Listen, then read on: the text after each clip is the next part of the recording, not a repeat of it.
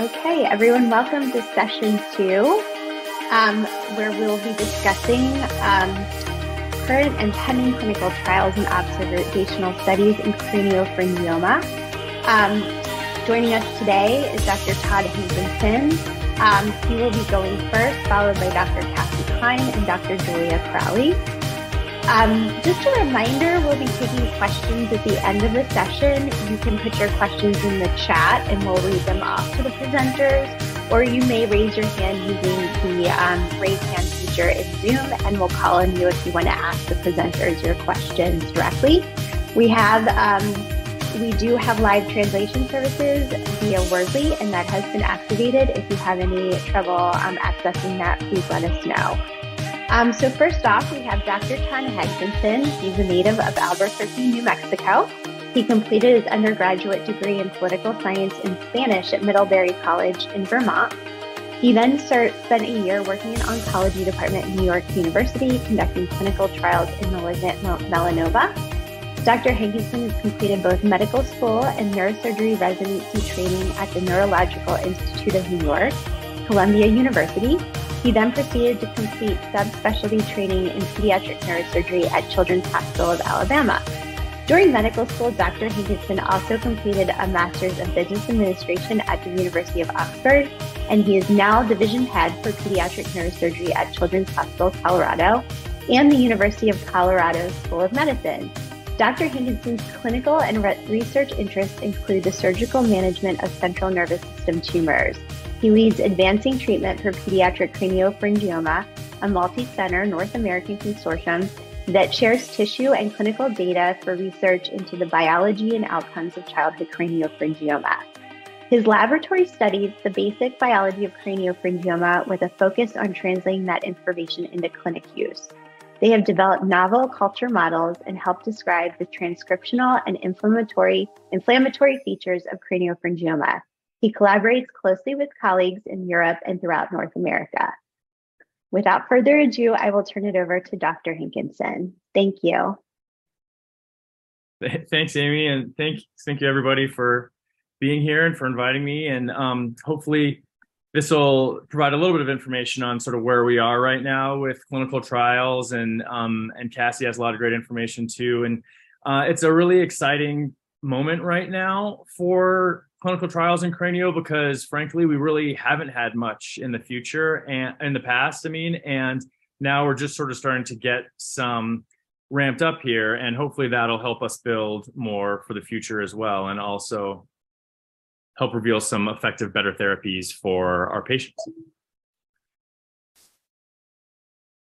So just this will probably be about 25 minutes or so maybe maybe a little bit more. And so i'll just talk a little bit about like some basic clinical stuff. I know a lot of people are are very familiar with that already so i won't spend too much time. And then uh, touch on some of the biological characteristics of these tumors only because i think it's important in terms of understanding how we got to the trials that we're uh, starting up soon and then talking a little bit more detail about the trials themselves so people know that craniopharyngioma, while it's a histologically benign tumor, meaning that it grows slowly and it's not considered um, an aggressive cancer, uh, it's still a very harmful and difficult tumor to treat. And it's relatively uncommon, but it's still the most common tumor that we see in children in the pituitary region, so in the the skull base. And you kind of have two age groups that get craniopharyngioma. One being kids who are, um, you know, the range can be anywhere, but five to 15 is the biggest spike. But then a second one in adults, and that's important and relevant for um, some of the things that I'll mention later on. But most importantly, craniopharyngioma elicits uh, really severe sequelae. So the quality of life can really be affected by some of the things that craniopharyngioma does to our brains. And so it's really important for us to come up with better therapies to try to combat that. And right now, therapies are really limited to surgery and radiation. And this is not a slide people need to memorize, but uh, those treatments have been around for a long time and they've gotten better, but they're still not great. And the outcomes still show high recurrence rates. You know, after surgery alone, it can be almost 50% even after radiation, it can be one in three. And so that's just not good enough. And unfortunately, we have not had any therapies that are really based on the biology of these tumors. And the background of that is complex, but it has to do with the fact that not being that common. Uh, people don't have not in the past had a lot of tissue to study. And then also being considered a benign tumor or a low grade lesion, people were less inclined and funders were less inclined to investigate these tumors. And so it took a lot of uh, activation energy to sort of get over the hump to really start to develop some momentum for the study of the biology of these tumors. But I think now uh, with a lot of collaboration from people, you know, all over the country and really all over the world. We've we've gotten there, and that's why it's a pretty exciting moment in terms of new therapies. So I'm not going to do this too much. I don't know if people have had lunch, but those are just all the different surgical ways we can approach these things, just to express the fact that there's a lot of ways, and everybody's tumor is unique, and we need to think about that. And people have tried everything we can from a surgical standpoint, and that's why you know my colleagues get mad at me that I'm putting us out of business by trying to come up with ways to treat these without surgery. But I just think that it's it's better. Um, and so what we started with, which Amy mentioned, was we created a small uh, consortium back in 2015, and it's grown a little bit. And this is a pretty bare bones basic thing, but the idea is to take tumor tissue and clinical experience from kids all over the place and bring it together so that it's easier for us to really have focused investigation of the biology of these tumors and how children do with different approaches, different therapies, what their quality of life outcomes are. And that can help us form the basis for new drugs and new investigations for ways we can get better therapies. If we if we don't understand the biology, we can't come up with better therapies. And we were having trouble understanding the biology because no one place saw enough of these cases to really study it. So that was the impetus behind putting together a consortium where basically people just send in tissue and we share clinical information and then try to learn things based on that. Unfortunately, that has been um, has been pretty successful thus far. Again, though, it's still pretty basic. So some of the biological things that we've found because of this, and I'm not going to belabor the biology too much, but I think there are a couple of things that are just important to understand. And one is just the message from this slide is just craniopharyngioma is really unique because it's really heterogeneous, which is to say there's a lot of different cell types, there's a lot of signaling going on. It's not just one big ball of cells that are growing out of control. It's this really coordinated orchestra of bad biology that's going on and understanding how that communication happens, understanding the role of each different cell type is going to really help us um, develop new therapies. And so it's really important to understand that that's where we have to come from, and that's where we've been coming from when it comes to uh, coming up with with new treatments and the bases for the trials that we're starting up. And so this is just a quick summary of some of the the basic research that that led to these trials and i'll talk about it a little bit more but basically looking at the, the transcriptome just basically means the mrna of these tumors which is to say little small signaling molecules that the cells use to tell themselves or each other what to manufacture what small proteins or what things to make and that influences cell behavior. So the, the rationale is if we understand what signals the cells are sending to themselves and to the other things around them, then maybe we can understand what the vulnerable pieces of this tumor are, and then we can get into blocking those things. One of the things that we stumbled upon in Colorado was the fact that craniopharyngiomas express super high levels of a really well-known signaling molecule called IL-6. And um, it turns out that there are therapies that really nicely target that drug, that um, molecule, and also that have been used previously in both kids and adults. And so it created a really fortunate situation where we actually had a drug that we had experience with that we felt like targeted this particular feature pretty nicely. Uh, that being said, it was still a pretty basic finding. And so, um, but that is partially the basis for one of the trials that we're doing.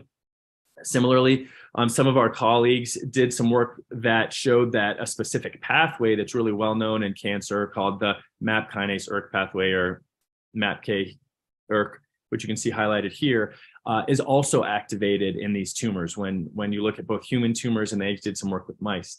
And uh, the group at NYU, um, based on some of this information, actually treated a patient with a medication that targets this pathway uh, and showed you know a decent little response in a patient who had had really really difficult to treat disease so you had a little bit of biology and a little bit of clinical information that sort of helped support this idea and also again you had agents with which we as a clinical community had a lot of experience and comfort with in terms of things that we could use to try to leverage this information. I just wanted to make one point here, which is some work that we did looking again at those little signaling molecules, showing that on a basic level, the tumors that you see in kids are quite similar to the ones you see in adults. And I just wanted to make that point because I think it's important to know that what we find in the kids who are the primary basis of our research may also apply nicely to adults, at least on a basic level. And that's really important because the adults who get afflicted with these tumors suffer a lot as well. And it would be really great if we could translate that information across age groups. So one other important um, finding that really formed the basis of the trial that Cassie is going to talk about is something called programmed cell death protein 1 or PD1 and it's basically a molecule that is involved in multiple cancers and is involved in blocking the immune system from fighting against tumor cells. And what uh, the group primarily in Boston, and we worked with them a little bit on this, found is that craniopharyngiomas express both the molecule and what the molecule binds with in very specific patterns, but it was expressed in pretty high levels relative to other tumors that we looked at, which again made us think that maybe craniopharyngioma um, is something where this is a particular vulnerability because it's uniquely expressed in terms of its level compared to even other types of tumors. And so this helped form the basis for uh, the the trial that uh, Cassie will talk mostly about, specifically with regard to a drug called nivolumab. So just super quick summary of the biology. Ignore that top part. It's just to say that um, without talking about it specifically today, the biggest actually biological feature of these tumors that's known is there's a really specific mutation in the DNA that's not in, um, there's no other mutations. Uh, it's just this one, but we just don't have really good ways to target that right now. So we have to work around it. And I wanted people to know that there is a lot of biology with these tumors that we don't understand yet that we're still working on, despite the fact that we're also trying to translate things as quickly as we can into actual trials. But using the information that I just described, this is kind of how we came to look at the agents that we are interested in trying. So I'm going to talk about a trial using tocilizumab, which is a drug that specifically blocks IL-6 signaling. Um, Cassie will talk about tovorafenib or DAY101, and I'll talk a little bit about binimetinib. Those both target that um, MAP kinase ERK pathway. And then Cassie will talk a little more about nivolumab, which is a, an immune checkpoint inhibitor, but it targets that, that PD-1 molecule. So in terms of the details of the trials, if you just kind of look at the big list of trials that's available um, in the US right now, in terms of, and this, there's a lot of really cool work that's going on in craniopharyngioma in general with regard to things like how do we treat hypothalamic injury better? Or how do we coordinate radiation and surgery? There and that work is super important and and it's it's an active area. When it comes to things that are saying like, hey, what are new agents that target the biology of these tumors? There's not that much going on right now. And so up until, you know, effectively now, we've just had these two little tiny things that that we've been doing in Colorado, and they're great and they've been informative, but it's not of the scale and detail and sophistication that we really need to advance treatment. And so by the time um, Cassie and I are done, you'll have a little bit more information about the specific trials that should be opening relatively soon that are multi-center international trials that should hopefully help us get a much better idea of whether or not some of these drugs can can help our patients. So first to talk about how we got to the trial using what's called tocilizumab, which is the IL-6 blocker. One thing that's important that some people may be familiar with, some may not, is that the central nervous system, and in this case, the brain in particular, is in a privileged area relative to the rest of the body, which is to say that certain molecules are blocked from passing from the bloodstream into the area immediately around the brain. And that's almost certainly a protective mechanism. But what it does is it can prevent some medications that we think are important to give to areas around the brain from getting there if you give them into the bloodstream. Tocilizumab is a large molecule that when you just look at biology shouldn't be able to get across that barrier from the bloodstream into the brain. Um, but we had some information I'll talk about in a second that made us think that maybe uh, in craniopharyngioma it could get across. And so in order to start a clinical trial, we had to first take a look and make sure that that was the case and make sure that the drug actually gets to the tumors because otherwise you're just giving it into people's bloodstream and doing nothing. So that trial is called a phase zero trial, which is basically just seeing if drug gets to the target when you give it in the course of normal therapy. Well, it doesn't have to be in the course of normal therapy, but in this case it was. So what we started with was patients who needed surgery for craniopharyngioma. We gave them one dose of the drug just before their surgery. And then when we took the tumor out, we analyzed it to see if we could find the drug in the tumor or in the cystic component of the tumor. So there's a solid part and a cystic part. So we did that and we said, okay, we're going to do that in up to five patients. And if we can see that the drug is there in three or more, then we're going to move the trial on to what's called a feasibility portion, which is to say that we know it gets there. Now we want to see if kids can actually tolerate it, if it has any effect at all, if the plan will work. And so Eric Prince, whose picture is here, helped um, analyze and study these results. And what we found is when we gave the drug to the first three patients, all three of them had measurable drug either in the tumor or the cyst. Now, this wasn't like a total complete home run, but because um, there was some variability. So, what you can sort of see in these two things on the left is these are control patients who didn't get the drug. So, obviously, you wouldn't see any of the drug in the tumor itself or in the cyst. But in the first patient, you saw a pretty high level of drug in the tumor and then a little bit in the cyst. In the second patient, there was just a little bit in the tumor in the tumor and hardly any in the cyst. And in the third one, there was hardly any in the tumor and a lot in the cyst.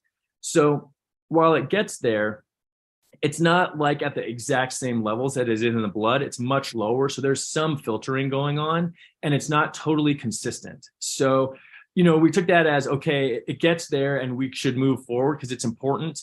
But there are other things we may need to think about down the road, and those are still open questions. So it's important to to know that um, the blood-brain barrier is not totally gone, but it's certainly not totally competent, and that has implications for other drugs that we may want to use down the future in the future um, that we think would not otherwise get across the blood-brain barrier. So I mentioned that we had some indication that the drug may get there, and that was because we had treated a couple of kids on a compassionate use basis with TOSI and had seen responses to their cystic tumors. And so these weren't super dramatic. This big shift down size in the size of the cyst was not from the drug, that was from surgery. Um, but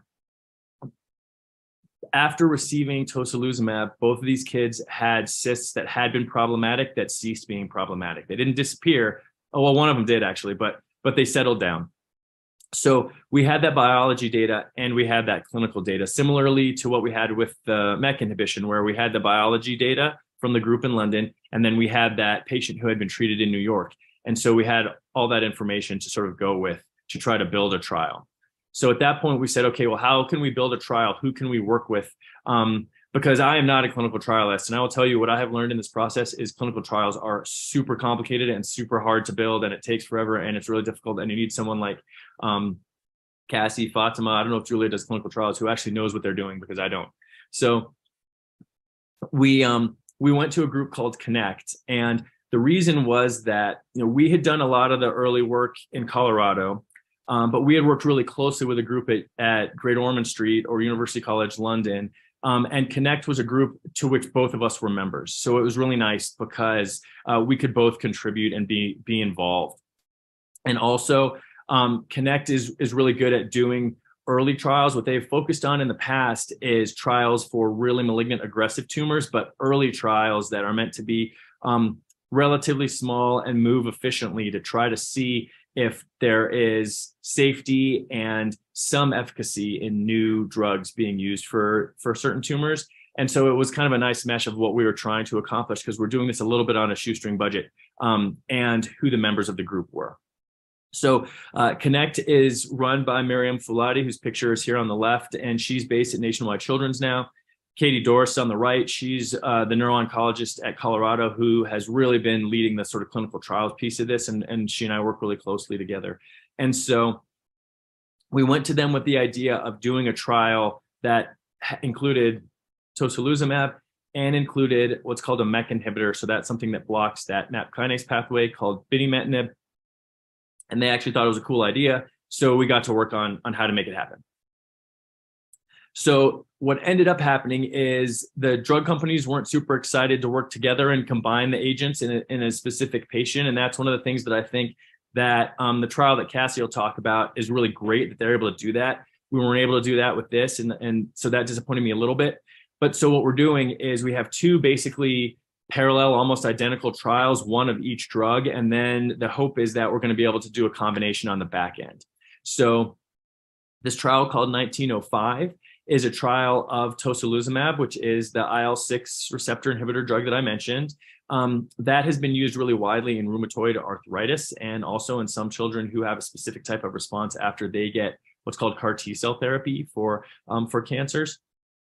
So even in the pediatrics world, we have a lot of experience with that drug. People may have heard about it because it's been used for inflammation in the context of COVID as well, uh, and that actually slowed us down quite a bit because of drug availability. But um, the first trial is that one, and it's always been a little bit ahead. We just got it started a little bit faster than the second one, uh, but it's moving along. And I'll talk a little bit more about some of the the details in a minute. The second one is called 2108, and that's basically the exact same trial, only it's using a uh, what's called a MEK inhibitor. Again, a type of drug that we have a lot of experience with in pediatric neuro-oncology. Um, and this is there are multiple MEK inhibitors. This one is called binimetinib. So the patients who are eligible for these studies are identical. So I'm only going to talk about it in the context of one. So it's anybody who is older than a year and less than 25 years who has craniopharyngioma uh, with with disease that we can see on an MRI scan. So if you have your tumor completely taken out, then you're not eligible for the study. And complete removal of these tumors is really one of the mainstays of treatment. Like as a surgeon, if I feel like it's safe to take one out, I will always try to do that, almost always try to do that. But it's just happens all too often that we're not able to do that. We're not able to do it safely. And that's where these things come into play.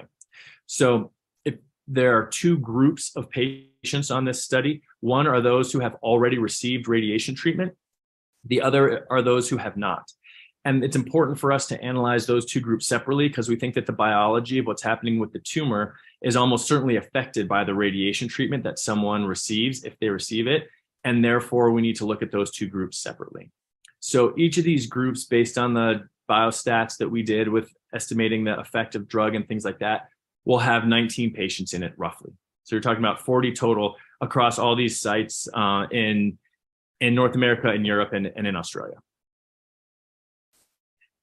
the way that the trial works is tocilizumab, as I mentioned, is an intravenous drug. So you have to have an IV to receive it. So patients come in once every two weeks. It usually takes about a half a day in the outpatient setting. So they go home afterwards. They don't stay in the hospital, but they come in, they get their medication. We watch and make sure they're doing okay. And then they go home. And you just do that once every two weeks for up to two years. With the binimetinib trial, it's slightly different because that's an oral drug. So that's just a pill that you can take at home. That has really good things and really bad things about it. The good ones are obvious. You don't have to come to the hospital. You don't have to get an IV. You can be, you know, potentially far away from the hospital that is running the trial. The downside is we're dealing with young children a lot of the time who may not be really excited about taking pills or may not be able to take pills. They're already getting a lot of medical treatment. And so just the logistics of it can be really difficult. So the, the pill piece of it is a strength and a weakness depending upon uh, your particular circumstances. Um, and so one of these is an IV therapy and one of them is an oral therapy. Again, this is a two year study. And with the binimetinib, you basically just take a pill twice a day, every day. And this is just talking about what the dosing is, which is pretty well established. So, how are we going to determine whether or not what we're doing is actually working and whether it's helping? And there are there are two ways we're going to do that. And this i think is um, this this trial is i think a little bit more streamlined and basic than the PNOC trial which i think is like i would love for it to actually have some of the parameters that the PNOC trial is going to have.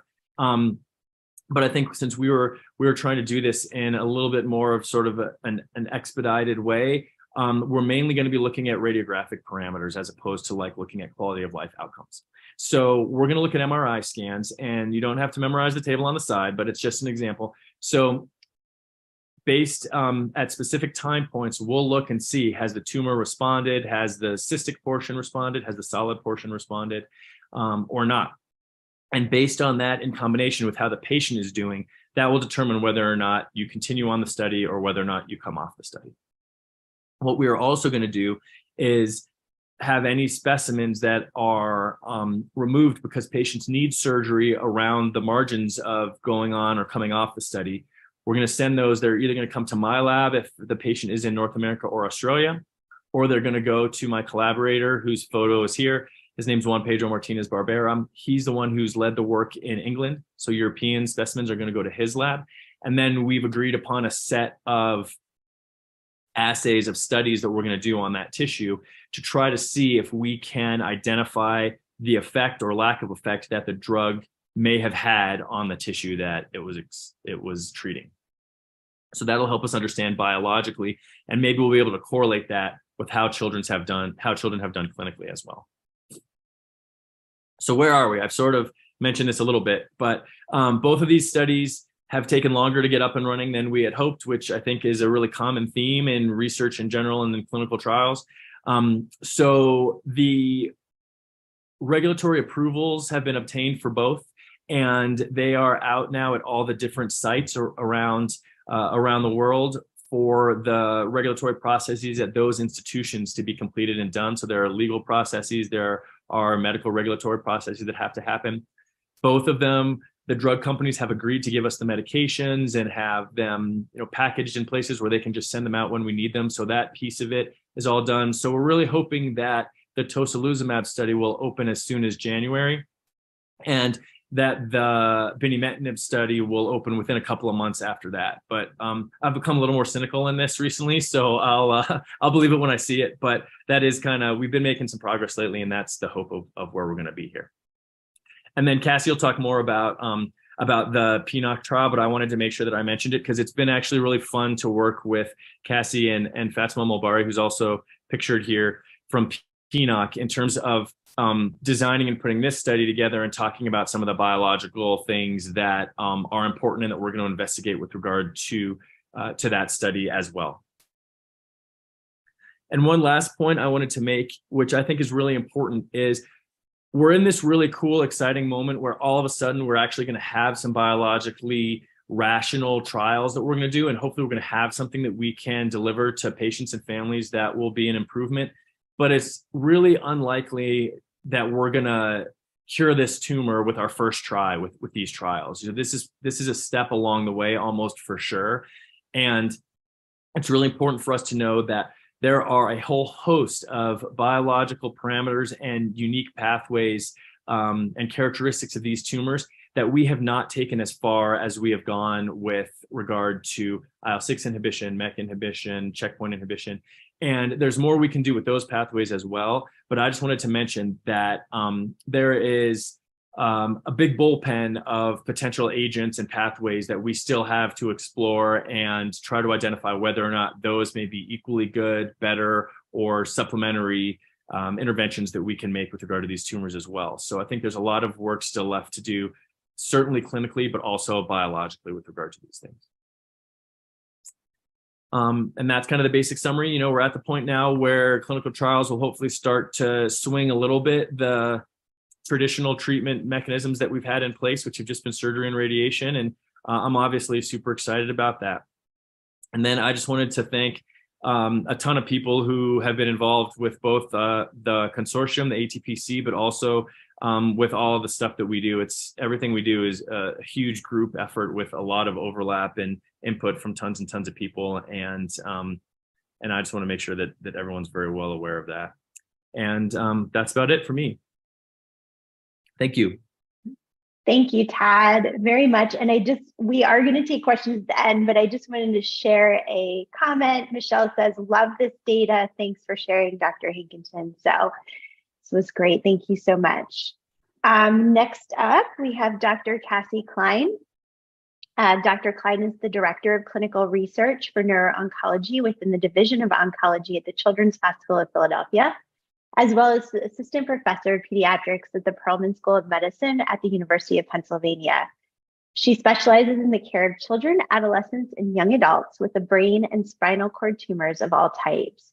She has a master's of advanced studies in clinical research and focuses her career on early phase clinical trials and developmental therapeutics for pediatric brain tumor patients. Dr. Kline's other research interests include predictors of neurocognitive outcomes in pediatric brain tumor survivors and personalized and immunotherapy based approaches for the treatment of brain tumors. Additionally, Dr. Kline serves as the Director of Data Quality and Integration for PNOC, overseeing the consortium's data collection processes and also integration across a variety of data platforms and research collaborations. We are also honored to have her as a member of the Raymond A. Wood Foundation Scientific Advisory Board. Without further ado, Dr. Kline.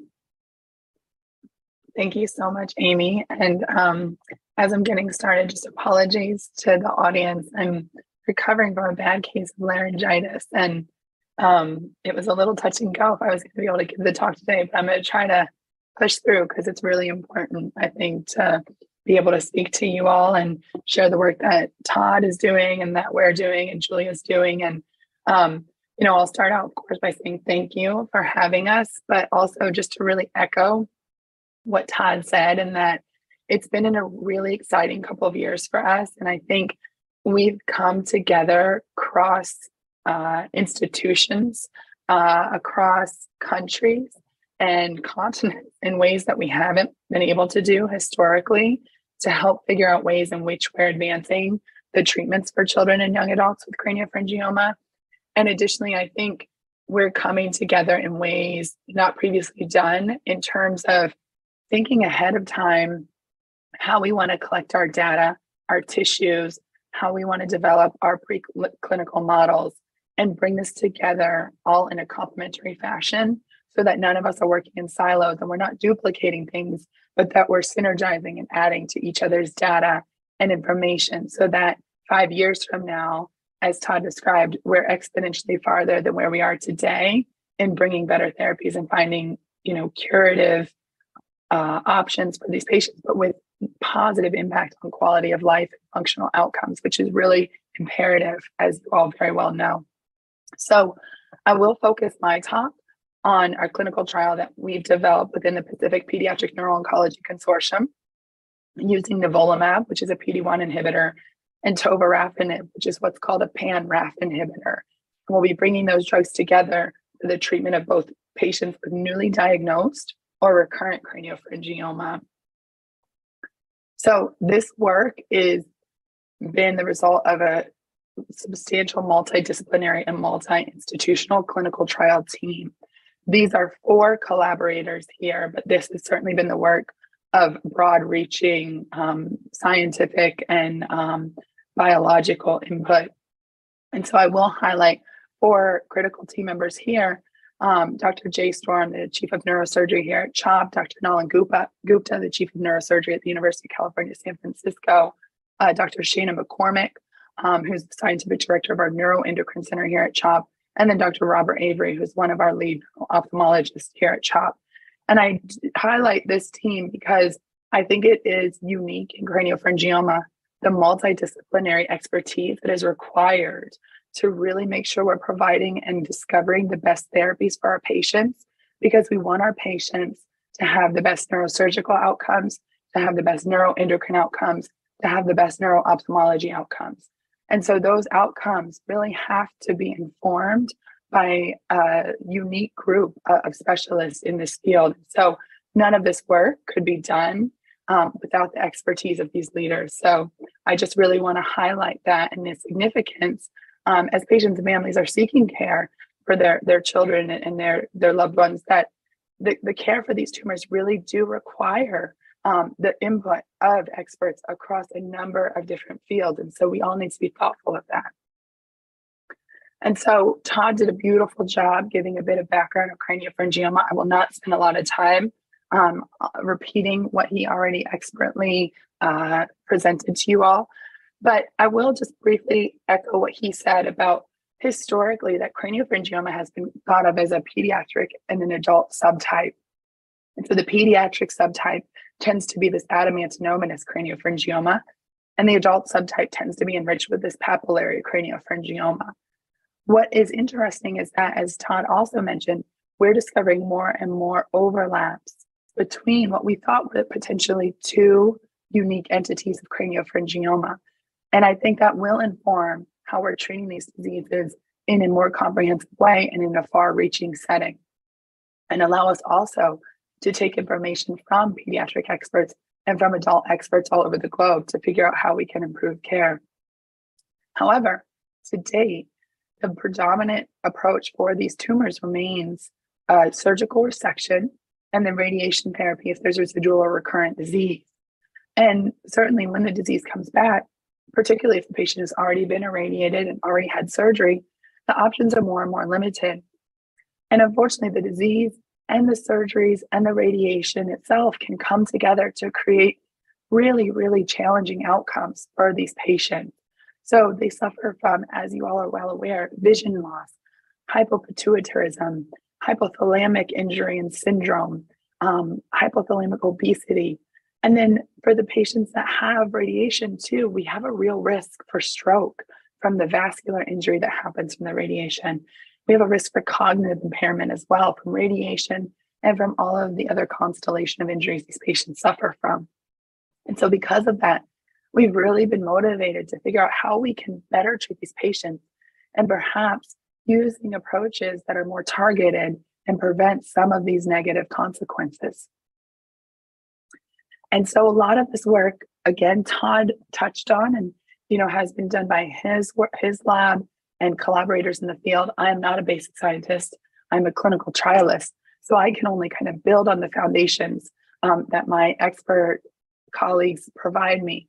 And really, we all bring our expertise together to then figure out how do we translate what we know about this disease from our lab work to engage our industry partners for drug selection and come up with really novel, thoughtful trials to help these patients. And so I won't spend a lot of time on this slide, um, but just high level, I want to make it clear again that what Todd said is very true in that there's multiple different pathways that we know are active and potentially in different compartments of craniopharyngioma. And when I say a pathway, I mean some sort of molecular signaling uh, um, pathway that turns on cells in the body to divide and grow. And that is at the essence of a tumor. But we're fortunate in that these pathways that have been identified, the PDL1 and PD1 pathway, the RAS and RAF MAP kinase pathway, that have been shown to be active in craniopharyngioma are actually targetable with commercially available agents. So, our job then is to figure out how we can bring these agents together to treat these tumors, to target the pathways that we know are active in them, and to do so ideally in a combinatorial approach that we're hitting all parts of the active tumor that we know contain these pathway components. And so, some of the work here just really highlights it's a lot of um, really elegant efforts that have highlighted these pathways that are present in the tumor, where they are present in the tumor.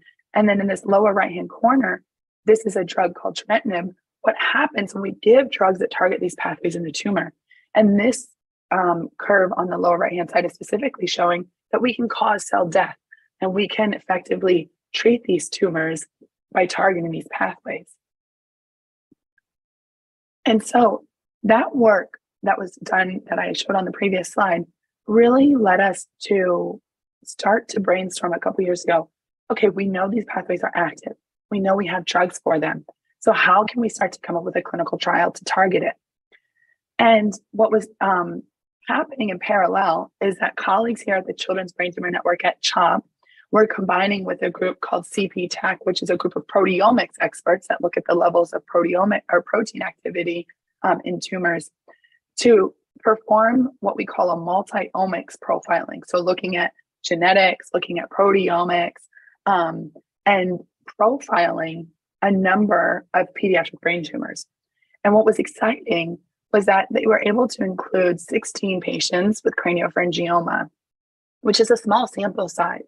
Um, but it was still wonderful to see that even in this rare subpopulation of tumors, they were being pulled into these larger multi-omics um, profiling efforts in ways that haven't been previously done before. And so this group used things called whole genome sequencing, where they look at all the DNA in the cell. They used RNA sequencing, where they look at the RNA in the cell, and then they looked at the proteins in the cell. And what was interesting is that they found in adam, adamantinomatous craniopharyngioma, which we have previously not necessarily thought of as an entity where there might be more than one subtype, they actually found that by looking at all of this profiling, particularly the protein profiles, that there are actually apparently two subtypes, even within the crani- adamantinomatous craniopharyngioma population, where some of the tumors seem to really, really be driven and, and what we call segregate or kind of co um, populate um, groups of tumors that are driven by this RAS RAF pathway again. Okay. And what we found is that that happens even without the traditional DNA level markers that we usually look for to identify the activity of these pathways. And so, specifically, we know that adults with papillary craniopharyngioma very commonly have what's called this BRAF V600E molecular marker.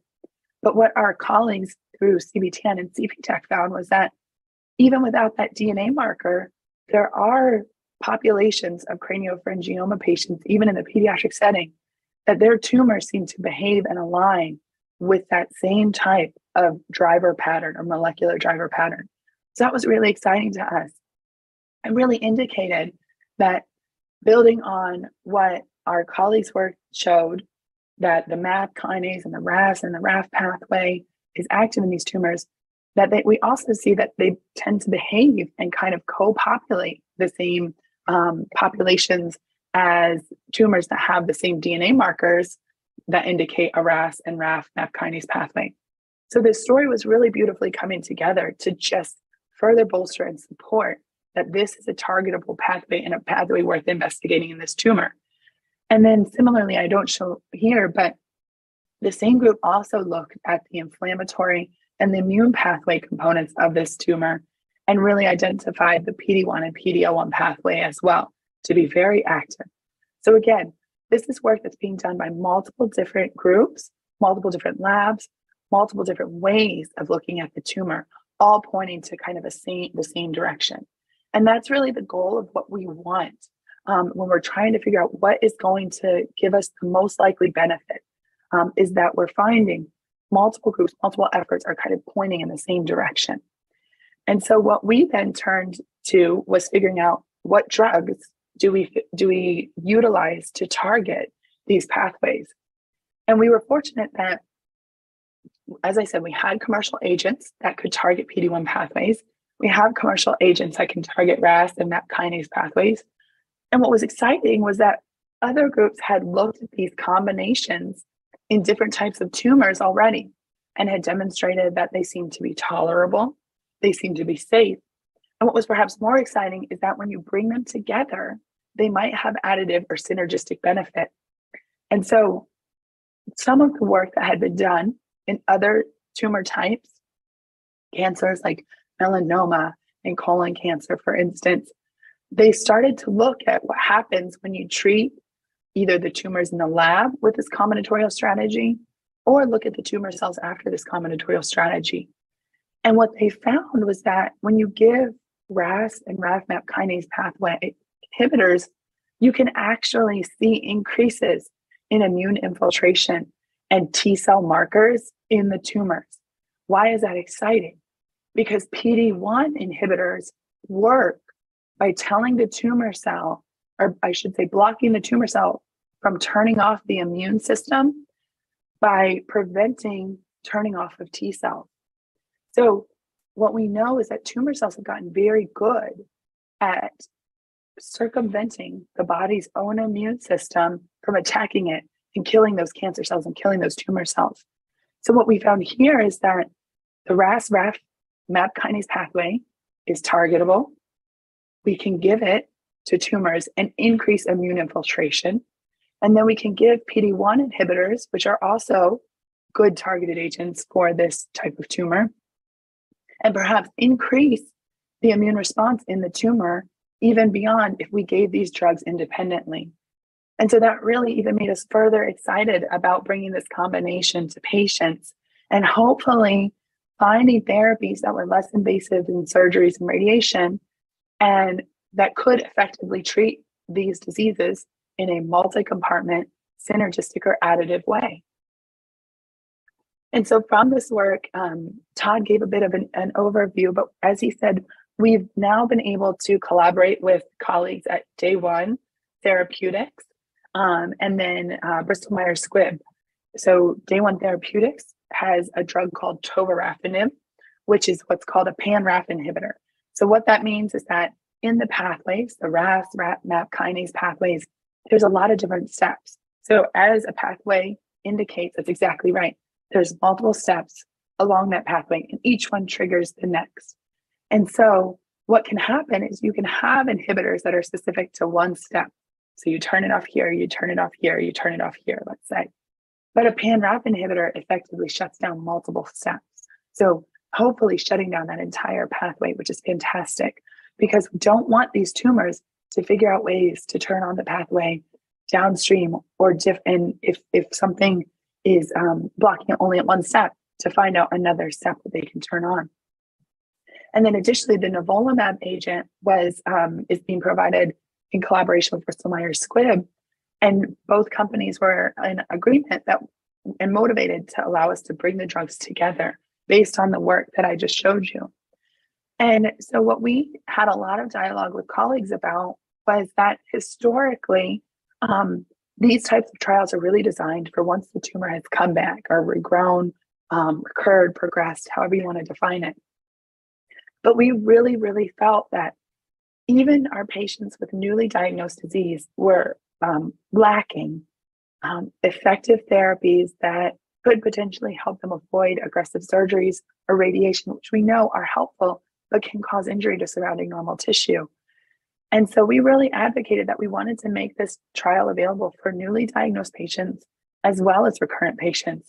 And so our trial will have two arms, has a newly diagnosed arm and a recurrent arm. And what that means is that patients with newly diagnosed craniopharyngioma will be eligible. And um, what we're doing now is we're enrolling them in what's called a treat biopsy treat approach. What that means is that when a patient comes in with craniopharyngioma on imaging or what looks to be craniopharyngioma on imaging, we, we know they will need surgery, whether it be a biopsy, a cyst drainage with biopsy, or a surgical resection. But what we want to know is if we give these agents, how does that biologically change the tumor? Or how does that actually affect the pathways that we're hoping to stop or shut down? So, what we've proposed is that for patients that it's safe to do so, we won't necessarily rush into the surgery, but we'll give them the medications first, and then we'll go to surgery. And we'll collect tissue then that will allow us to look at the tissue after they've gotten the drugs and identify what's happening in the tissue. How are these drugs working? How are they not working? And ideally use that information then to figure out if these drugs don't work, why and how did they not work? and what do we need to do to more effectively use them in the future? And so for the trial, patients will get randomized to either one dose of nivolumab, one dose of tovorafenib, or a dose of combination therapy before they get their surgery. And then they'll go to surgery, and the surgeons will perform whatever their standard of care approach is. So if they think they can get the whole tumor out, they can do that. If they think they can only do a biopsy, they can do that.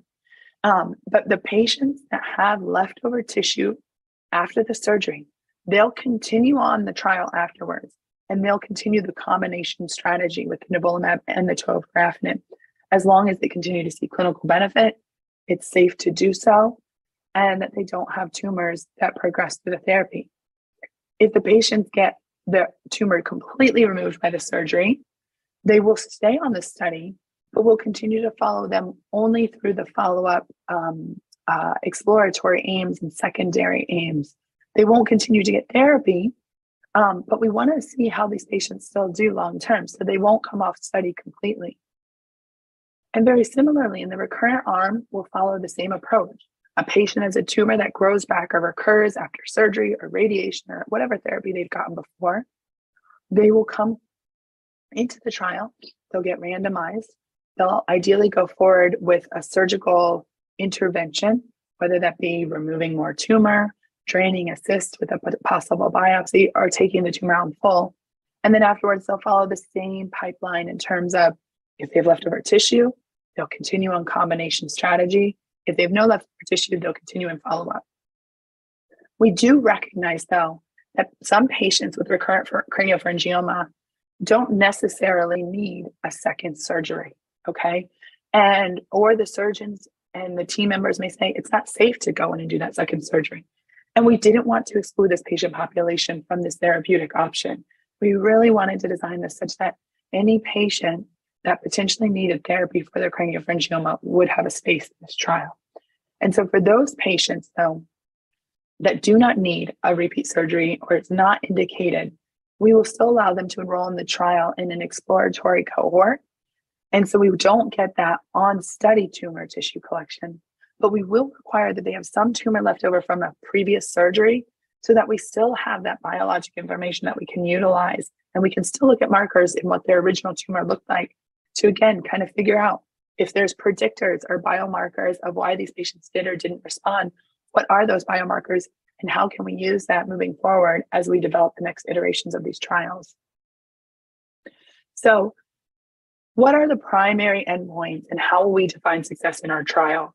What we're utilizing is not only can we control the tumor, but can we control the tumor and also maintain patients' quality of life throughout the trial? Okay. So at 12 months on the trial, we're going to be looking not only at has the tumor been effectively controlled, but also are the patients living the best life they can live still? So we're going to collect quality of life assessments throughout the trial, starting at the very, very beginning before they've even gotten any medications. And if a patient has control of their tumor, but their quality of life has fallen substantially over the course of that therapy, we're going to say that that was a failed approach because our goal for these patients, we know we're fortunate that they have very long survival with this tumor. But what we also know is that their quality of life, as Todd highlighted, as many have highlighted, is exceedingly impacted by their diagnosis. So our goal above anything else is to find therapies that both control the tumor and slow the tumor growth down or stop it completely, but also maintain that patients are able to live the best quality of life that they can. So we've brought these two together in a composite endpoint, and we'll need both to declare this trial a success. The other pieces of information, as I talked about when I entered into the this slide deck with um, a summary page of all of the multidisciplinary team members that are involved is that we really want to identify not just the safety of this combination, but we want to look at what are the visual outcomes for these patients that are so impacted from an ophthalmologic standpoint by this disease and the treatments we give. And also, what are the neuroendocrine outcomes? Because we know that that has an imperative impact on patients' quality of life. Okay, so we will be looking at all of these things in serial at serial time points throughout the trial. And so we can track are we improving these things? Are we at least maintaining stability, or are patients still having negative impacts on these outcomes, which are critical to these patients? And then lastly, so as I said, the biology of these tumors has been so important for helping us develop new ways to treat them and also will continue to help us develop new ways to treat them. Okay. And so, with Todd's help, with other biologic or um, basic science collaborators that study the biology of these tumors, so many of the names which Todd um, mentioned, uh, but across the globe, really, we're utilizing workflows and pipelines that they have already developed to look at these tumors and explore the pathways in these tumors. We're capitalizing on these opportunities to contribute tumor tissue, contribute other biologic specimens. So from our, within our trial, we're collecting cyst fluid, tumor tissue, stool, because we know there's evolving evidence, particularly in the setting of immune therapy responses, um, for the, the role of the microbiome in therapy responses, and blood, because we also want to look at various biomarkers in blood. And so when patients enter the trial, we are thoughtfully collecting all of these biological specimens longitudinally over the course of the trial. And we'll be using a lot of these high level um, scientific workflows and um, advanced um, investigational opportunities to identify how is the, the molecular pathways, immune pathways, inflammatory pathways of these tumors changing, evolving, developing mechanisms of response or resistance. And additionally, where we have really lacked in this field as well is many of our pediatric tumors have gained success by creation and by utilization of what we call preclinical models, whether that be what's called cell lines or animal models in the clinic. We've really struggled over the years creating effective craniopharyngioma models. But I think with the work of multiple collaborators, including Todd's lab, I think we're finally coming up with effective ways to develop these preclinical models. And now we're coming together as a group to make sure our efforts are complementary and that we're subsequently utilizing these models to test new therapies and test new drugs in thoughtful ways.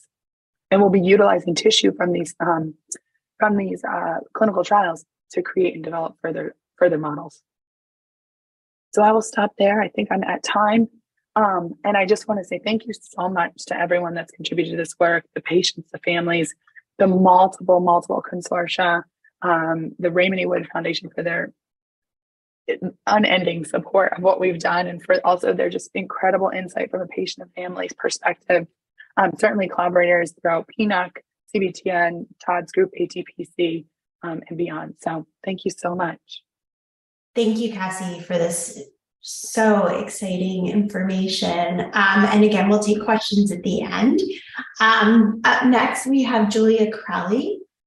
Um, Dr. Crowley is a pediatric endocrinology fellow at the Children's Hospital of Philadelphia. She is a graduate of William and Mary and Virginia Commonwealth University School of Medicine.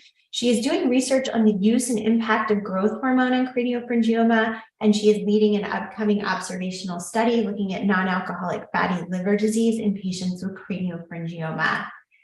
Um, okay, and I am going to attempt to share the PowerPoint.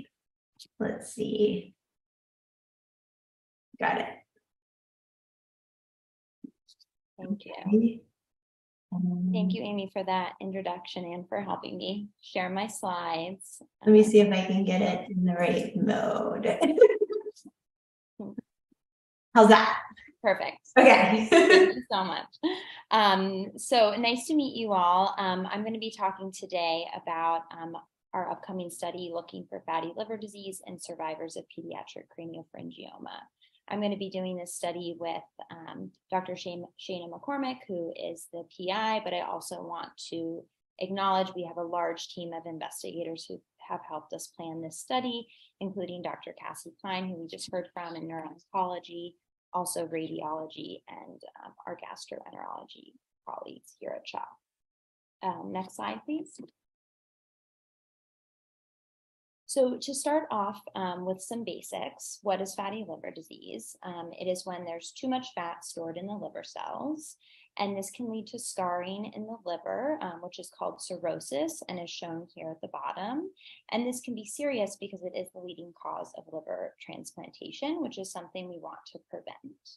Um, we think that fatty liver disease is related to um, other weight related conditions such as type 2 diabetes and high blood pressure. It's also difficult to diagnose using blood work, which is the current way that we screen for this in our patients. So why do this study in our population? So we know that having extra weight is a risk factor for fatty liver disease, but also hypopituitarism, especially if not fully treated, is also a risk factor for fatty liver disease. So we think that the combination of excess weight and hypopituitarism could lead to higher rates of fatty liver disease and could potentially make it worse. Um, we also think that we could potentially be missing fatty liver disease in our patients because screening for it on blood work is um, so problematic. Um, next slide, please. So um, who can participate in our study? So hopefully you or your child, if you qualify. Um, we will be recruiting individuals with history of craniopharyngioma between the ages of six and 17 years old. Um, they must be able to lie still for an MRI, so magnetic resonance imaging of the abdomen, uh, which can take about 30 minutes to one hour. And then we'll also be recruiting healthy individuals without history of craniopharyngioma for comparison. Uh, next slide, please. Um, so what would you have to do for our study? So our study is an observational study, so it's distinct from an interventional trial. Right now, we don't know the exact number of people who are affected with both craniopharyngioma and fatty liver disease. So we want to do this study to simply observe who is affected. Um, so for our study, you would come here to CHOP, you would get a physical exam and vital signs. Um, you would do an MRI of your liver, so similar technology to the MRI brain, just of your abdomen, and you can see a picture here of a liver on MRI. Um, of note, we will not be using contrast and we won't use sedation for the MRI. We would also get morning um, blood work. We'd have you answer questions about your sleep and appetite on questionnaires, and then we would do a hand grip strength um, using that little device there. Um, we really want to describe who gets fatty liver disease, which is why we want to ask you about your sleep and appetite. We want to look at your metabolism based off the morning blood work, and we want to look at your activity and your muscle strength using the hand grip strength um, test.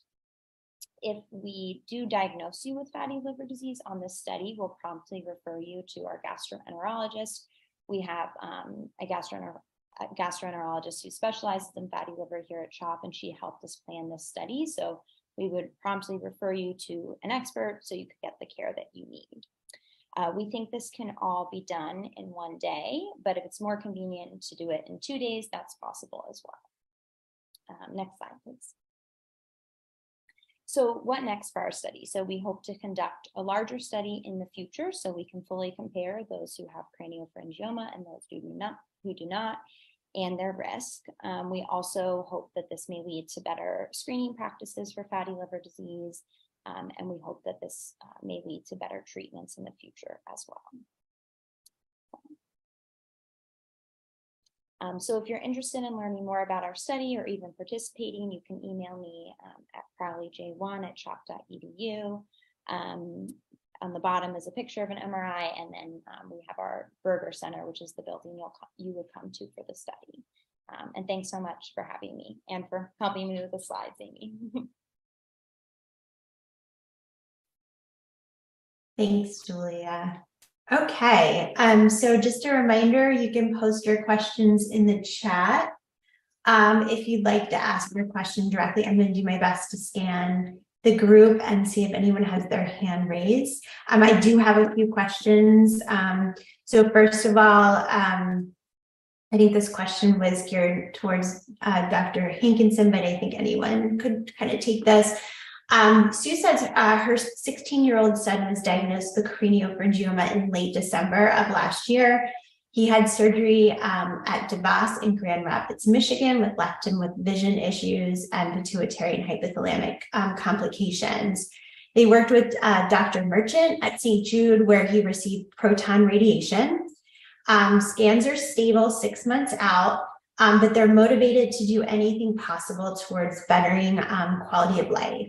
Is there any um, anything you could recommend um, where they could pursue more answers, more information, more advancements, get medication reviews, any strategies? Um, they're willing to travel anywhere. Um, yeah, so thanks for for asking that question. I guess what I would say is, you know, St. Jude is an outstanding, outstanding institution with tons of resources and experience and infrastructure. So I would be really hesitant to um like step in and say hey you should do you should be doing something different or missing something. I guess my only question would be whether or not you guys are also connected with endocrinology and ophthalmology and all those other subspecialties which you know cassie really highlighted because that's really critical to overall quality of life especially over the long term and having some contacts um locally or or you know maybe not so much who are specifically looking at those things is really critical. St. Jude's had St. Jude has those resources, but um, we work with them a lot uh, with patients and stuff like that um, who have specific needs or, or you know locations. So I would say there are a number of institutions that are really great and have a ton of experience. St. Jude is definitely one of them. Um, and you know, I know Cassie's group does this. We do a lot of second opinions remotely and stuff like that too. But um, usually, what we're doing is kind of confirming that that what they're doing somewhere else is what we would do too. Thank you. Is there anyone want to add to that? Okay.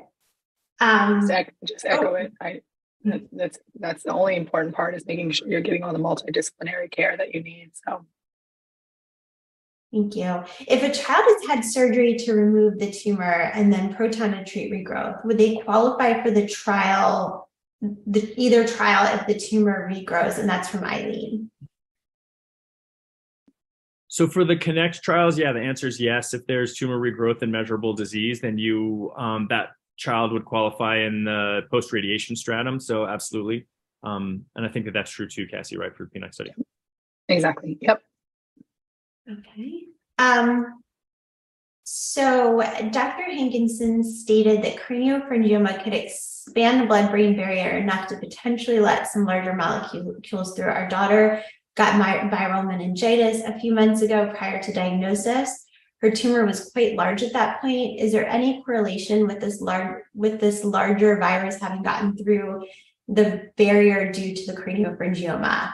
She's also it's uh, Eva's asking. She's also asking, has anyone else had meningitis during a cranio?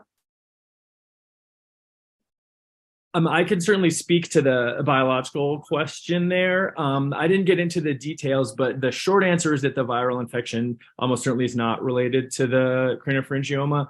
The, the reason what made us sort of think that the blood-brain barrier may be compromised with craniopharyngioma was an understanding of where we think the tumors arise from and they come from an area, they're believed to come from an area around the pituitary gland that actually doesn't have a blood brain barrier. And it has to do with facilitating hormone transport from um, signals in the brain into the actual body where those hormones are, are active.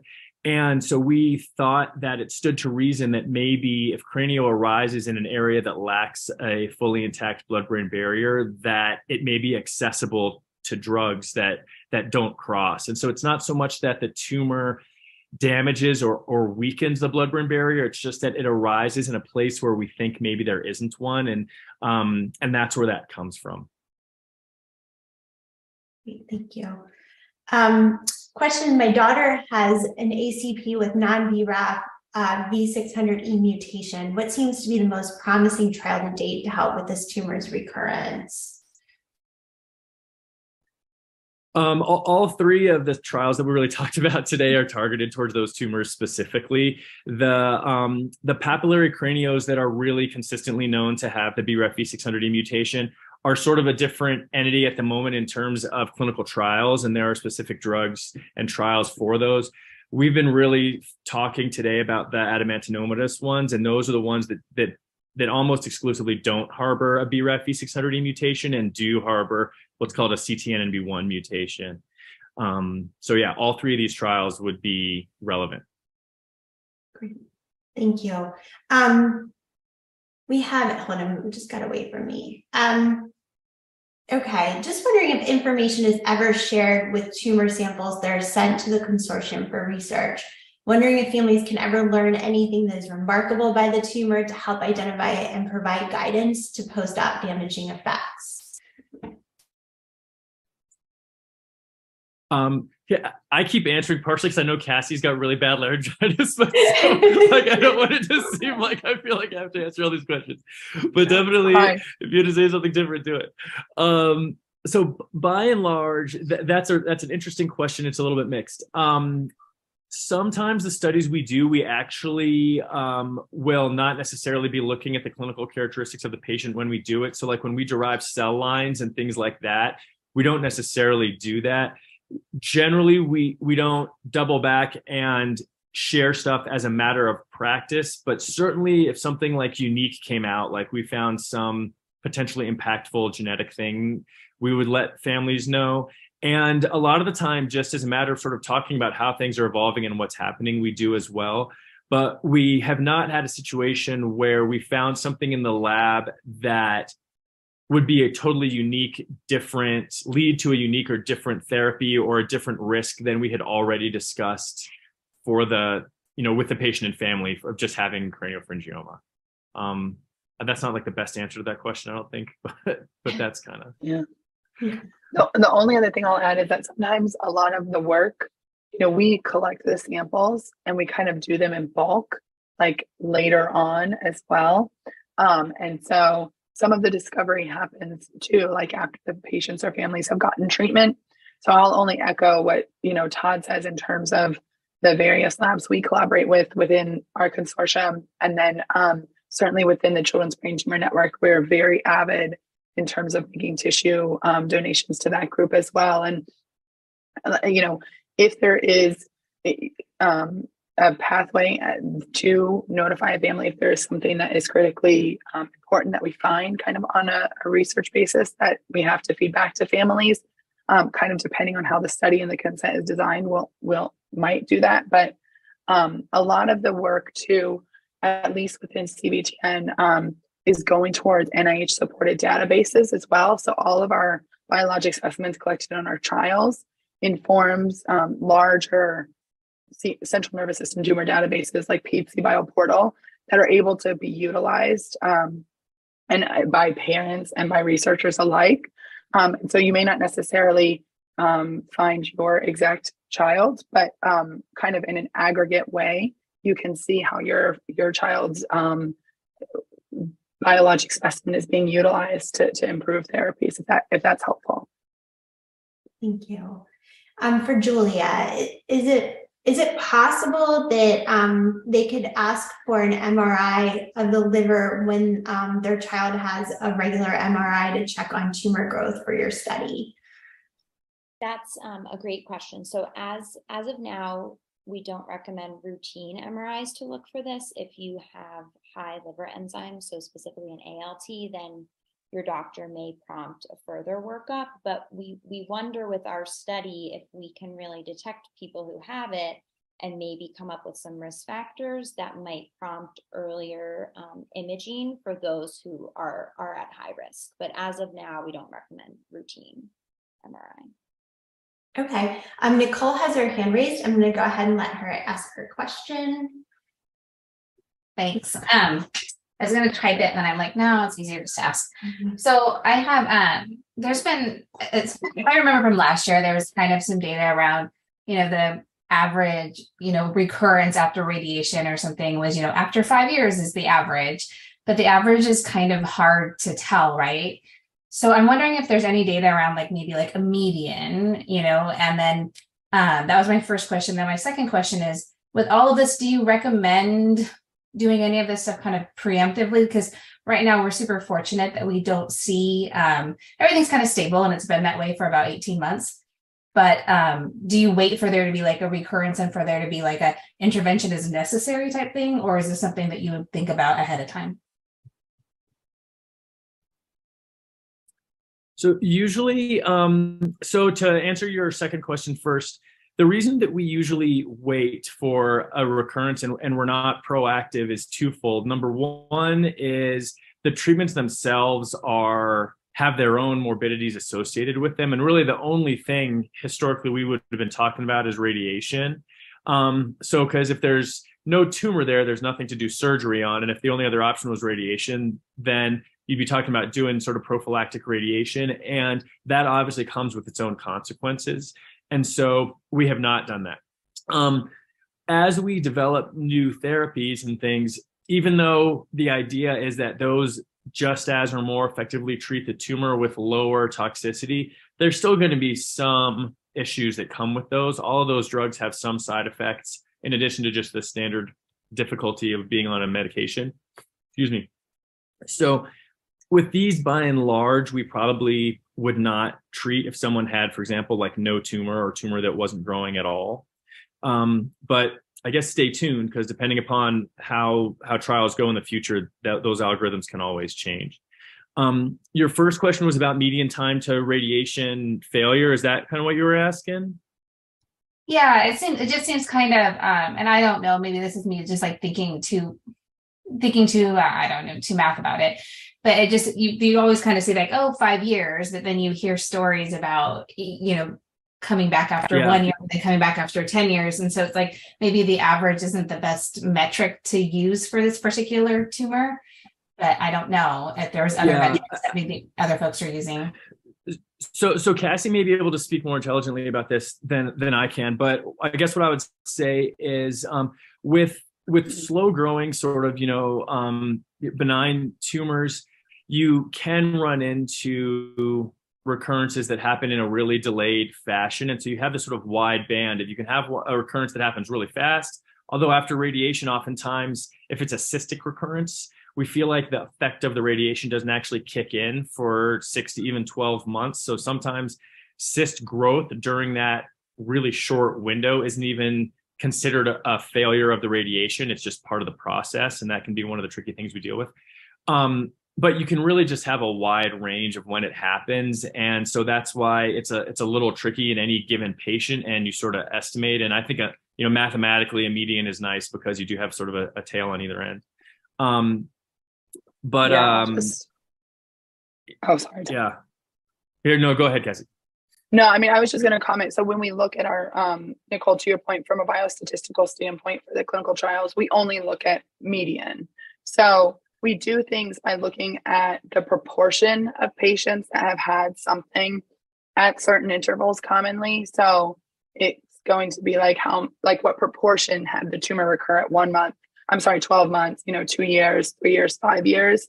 But then you're absolutely right. When we're looking at the med the progression free survival like how many months or the overall survival that's always the median You're, and that is exactly right to accommodate kind of you know the exceptional outliers on either end um, and so when we say kind of um, when we're utilizing eh, most statistics it is actually the median or like a proportion if that helps clarify things Yeah, I just I, I don't remember there ever being that information has ever been shared, I guess. Or that I haven't seen. Well, Like- one thing that I think we need to do a lot better job with, and like I've kind of we've been working on it in fits and starts, is creating a web-based resource for patients and families that they can use for this exact kind of thing, where you know you can log onto it and see a lot more about what trials are there, what the outcomes are, what our standards are, what resources are, you know, websites about um, you know, what can I expect? What doctors do I need to see? And I I have had trouble finding a really good resource for that. Um, and and we've talked about trying to stand one up and like we'll make progress and then kind of get delayed because I'm really slow. Um, and but that's a I think something that could really help with questions like this one, which are questions that everybody has and and are we should do a better job answering them. Well, we have good news on that front. We are working on that type of project. And then we also have the clinical trials listed on our website as well with um, pretty comprehensive data. So please check that out, rawoodfoundation.org. We know there are many more questions, but unfortunately we're out of time. So we'll curate, those questions offline and work to get them answered for you guys. Um, Dr. Kline, Dr. Hankinson, Dr. Crowley, thank you so, so much for sharing this information with us. This is all very exciting and um, we look forward to hearing more. Um, up next, we are going to learn how to do our own research with Dr. Alter. So we'll see you in about 15 minutes. Thank you.